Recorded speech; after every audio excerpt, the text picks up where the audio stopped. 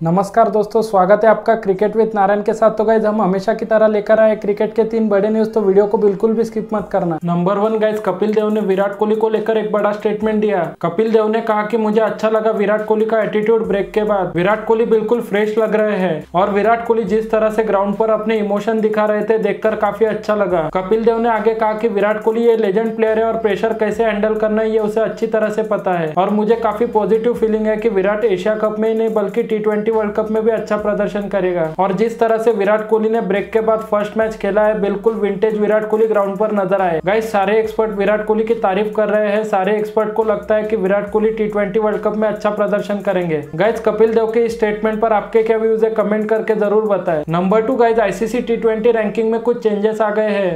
T batting ranking में सूर्य कुमार यादव ये number दो से नंबर तीन पर आ गए हैं। और मोहम्मद रिजवान की इंडिया के अगेंस्ट 42 बॉल में 43 रन की इनिंग के वजह से मोहम्मद रिजवान ने नंबर दो पर आ गए हैं। वही बाबर आज़म ये 810 रेटिंग पॉइंट के साथ अभी भी नंबर वन पर है। वही टी ट्वेंटी ऑलराउंडर्स रैंकिंग में हार्दिक पांडे ये ऊपर छलांग मारकर सीधा नंबर पाँच पर आ गए हैं 167 रेटिंग पॉइंट के साथ। वही मोहम्मद नबी ये 257 रेटिंग पॉइंट्स के साथ अभी भी नंबर वन पर है। Number three guys former Indian selector Saba Karim ने दिनेश कार्तिक और ऋषभ पंत को लेकर एक बड़ा स्टेटमेंट दिया। सबा करीम ने कहा कि मैं काफ़ी सरप्राइज़ था की ऋषभ पंत प्लेइंग इलेवन का हिस्सा नहीं है। मुझे ऐसा लग रहा था कि दिनेश कार्तिक के जगह ऋषभ पंत खेलेंगे। नो डाउट दिनेश कार्तिक अच्छे प्लेयर है लेकिन ऋषभ पंत ये इंडिया के एक्स फैक्टर है और रिसेंटली ऋषभ पंत ने इंग्लैंड और साउथ अफ्रीका के खिलाफ व्हाइट बॉल सीरीज़ में अच्छा प्रदर्शन किया था। ऋषभ पंत काफ़ी अच्छे फॉर्म में है, ज़रूर ऋषभ पंत ये कंसिस्टेंट परफॉर्मर नहीं है, लेकिन वो ऐसे प्लेयर है की अगर फॉर्म में रहे तो कोई भी मैच जीता सकते हैं। और ऋषभ पंत ये इंडिया के फ्यूचर प्लेयर है, और अगर हम इसे प्लेइंग इलेवन से बाहर रखेंगे तो प्लेयर का कॉन्फिडेंस लूज हो जाता है। सबा करीम ने आगे ये भी कहा कि ऋषभ पंत ये फ्लेक्सिबल प्लेयर है, आप उसे नंबर चार नंबर पाँच या नंबर छह कोई भी पोजीशन पर खिला सकते हैं। और सबसे बड़ी बात, ऋषभ पंत ये लेफ़्ट हैंडर है, जिसके वजह से वो मिडल में आके बॉलर्स का रिदम तोड़ सकते हैं। सबा करीम ने कहा कि मैं बिल्कुल भी हैप्पी नहीं हूँ मैनेजमेंट के इस डिसीज़न से, क्योंकि ऋषभ पंत ये एक्सपेक्टर हो सकते हैं ऑस्ट्रेलिया में होने वाले टी ट्वेंटी वर्ल्ड कप में। चलिए आज के लिए बस इतना ही। वीडियो अगर अच्छे लगे हो तो लाइक शेयर और सब्सक्राइब ज़रूर करें।